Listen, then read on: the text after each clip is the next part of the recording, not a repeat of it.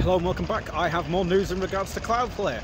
Cloudflare have are current have released a device that they use to connect in their data center. Let me just turn around so just try and get out the wind.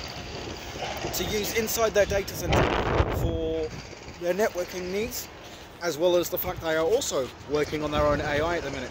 Believe it or not, nearly everyone's working on their own AI.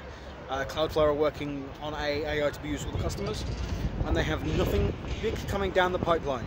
After talking to Cloudflare today, they have said that they work on something on a nearly they work on something new on a weekly basis, and that they are currently, whenever there's nothing new coming out for a long period of time, they are in a hold to make sure what they have works. But at the minute, there is nothing new coming down the pipeline, and if there were, uh, I wouldn't have been told about it at the event. So nothing new from Cloudflare except from a security tool, well not a security tool, a networking tool, and also Cloudflare, powered by coffee. Thanks for watching.